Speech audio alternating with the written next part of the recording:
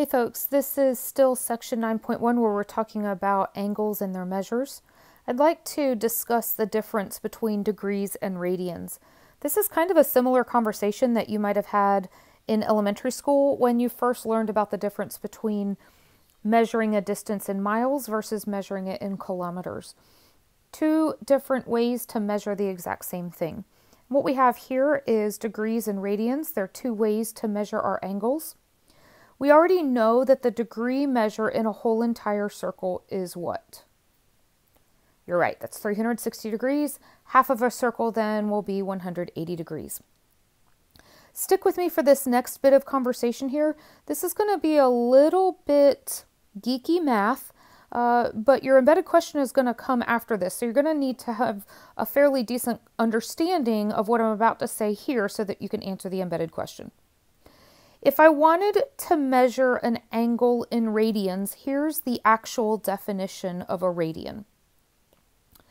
If you have a radius, and that radius of your circle is the exact same thing as an arc length. You see I have a picture over here, and on this picture, my arc length is the exact same length as my radius. If this occurs, then the central angle that theta is going to equal one radian.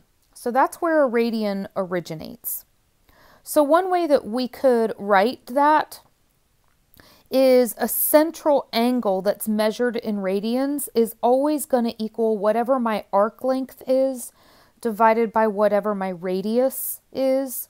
And mathematically, uh, we would say that our angle, which is called theta, is going to equal arc length, which is called L, divided by the radius, which we know is R.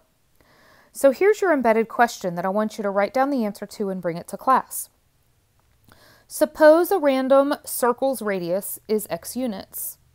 What is that circle's circumference? Now, I haven't gone over circumference with you, so you're going to have to reach back in your mind to high school geometry or look up the formula for circumference.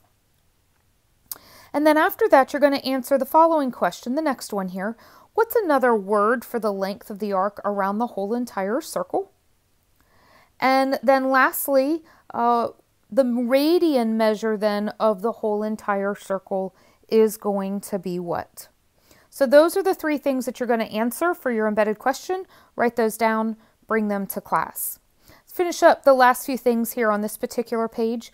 360 degrees is going to end up equaling 2 pi radians. This isn't a big surprise since we worked on our unit circle and the unit circle ends at 360 degrees, also ends at 2 pi degrees, uh, sorry, 2 pi radians before it starts back around the circle. So that's not a big surprise. Um, and then 180 degrees is going to be the same thing as pi radians.